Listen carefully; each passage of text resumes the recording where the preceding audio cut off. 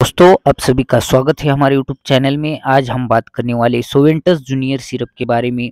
सोवेंटस junior syrup जावेंटस health care द्वारा बनाया जाता है। इसमें अमरोक्सिल गुफेनोसिन एंड टर्बुलाइन कंटेंट है और इसकी मार्केट प्राइस एमआरपी लगभग एक सौ है। तो चलो इस वीडियो में जानते हैं।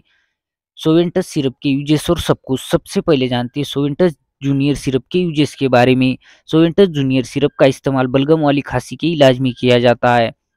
ट्रीटमेंट ऑफ़ बलगम वाली खांसी.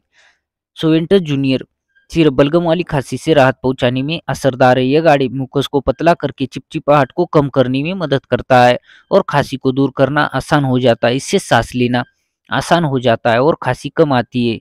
सोवेंटस जूनियर सिरप एलर्जी के लक्षणों जैसे कि आँखों से पानी आना, छींक आना, नाक बहना, गले में जलन होना आदि से भी राहत देता है। बीमारी के लक्षणों से आराम के लिए दवा के साथ साथ पर्याप्त मात्रा में गुनगुना पानी पिए और गर्म नमकीन पानी के साथ गरारे करें।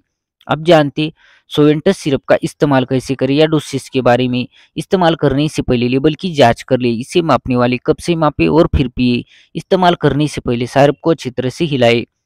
सोवेंटस जूनियर सिरप को खाने के साथ या भूखे पेट भी ले सकते हैं, लेकिन बेहतर यही होगा कि इसे फिक्स टाइम पर ही लिया जाना चाहिए, क्योंकि इससे आप आपकी दवाई लेना नहीं भूलेंगे।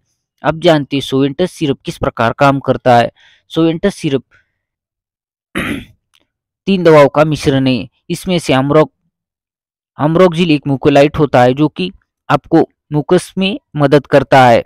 साथ में गुफोनोसिन एक एक्सपेक्टोरेंट होता है जो कि बलगम कप की चिपचिपाहट को कम करता है और सांस नली से इसे बाहर निकालने में मदद करता है। वही टर्बुलाइन एक ब्रोंकोडाइलेटर होता है, जो वायुमार्ग में मांसपेशियों को आराम देकर और वायुमार्गों को विस्तारित करके काम करता है। साथ में सांस लेना आसान कर देता है।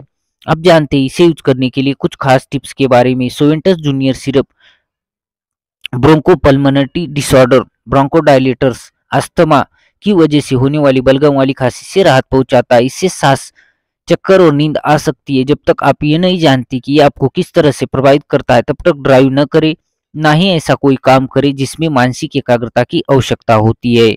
ये जानकारी आपको कैसी लगी दोस्तों? अच्छी लगी हो तो वीडियो को लाइक और चैनल को सब्सक्राइब करना ना भूले। अंत तक देखने के लिए धन्यवाद दोस्तों। जय हिंद दोस्तों।